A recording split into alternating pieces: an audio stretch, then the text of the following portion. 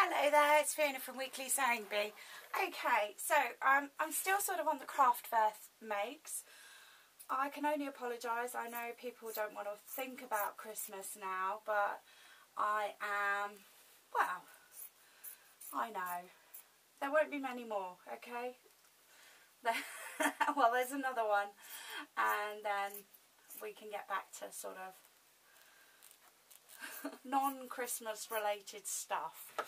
Okay, so what I've got here is Christmas fabric, um, sparkly brocade, and what I'm going to do is very carefully, let me just grab a bit of wadding. Yeah, I haven't got much left.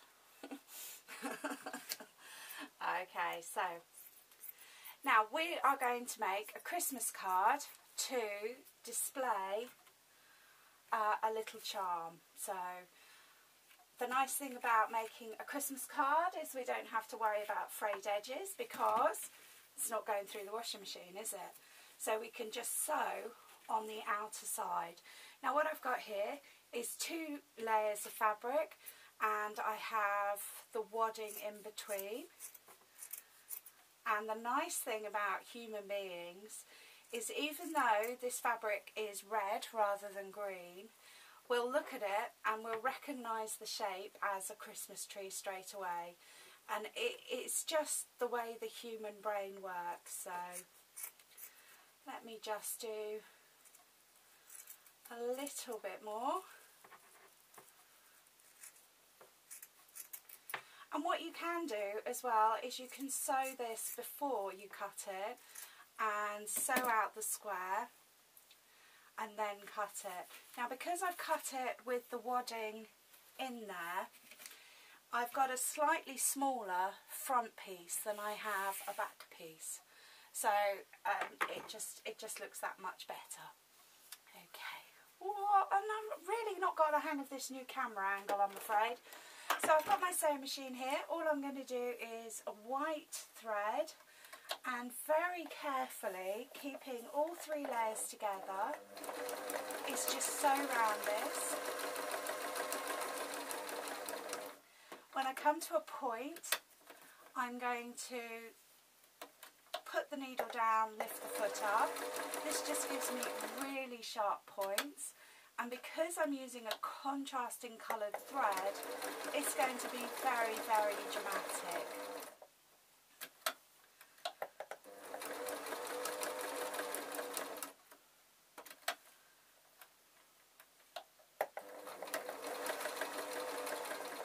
So just make sure that I've got all three bits, it's just curling up there.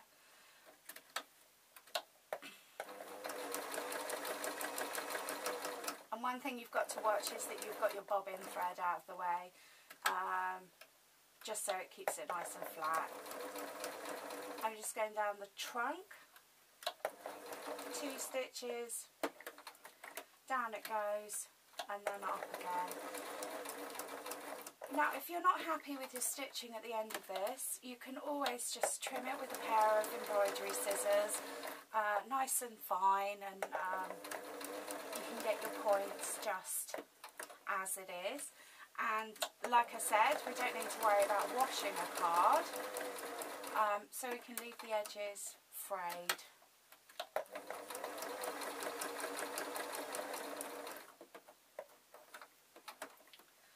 So, I am coming to the end.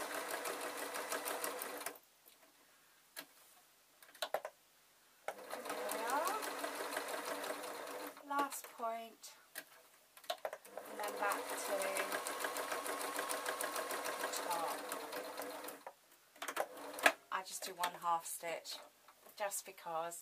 So there we are. We have our, our little Christmas tree.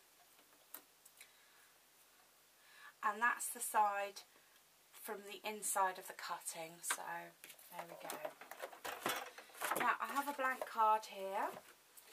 I'm going to open it out and I'm going to place the Christmas tree in the middle. I'm just going to take off these ends of threads because I want it to look as neat as possible in a kind of scruffy way. Now here I have some sticky pads and they're great. Um, we can put that down or we can just use a little bit of glue. It really depends what you have. If you don't have any of these, um, you want to just put a couple of stitches on there, then that's also great.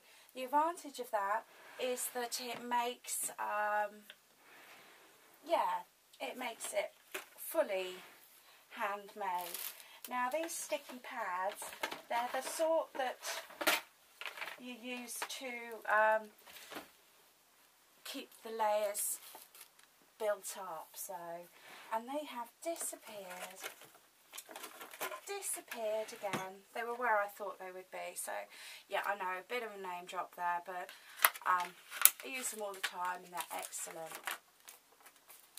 So we just place it, I'm going to place it on the back of the fabric this is so that it doesn't show through because if we placed it on the card and we were a couple of millimetres out then I would I would have it showing through and I really don't want that. So there we are, when it's up that's what we'll be looking at. So lovely. I also have the, the black thread that goes with these little crystal charms and um, all I'm going to do is I'm going to use my own neck as a measure because you need to get it over your head so it needs to be at least as wide as your head and then we can either do the special knots or we can just do normal a normal knot and there we are.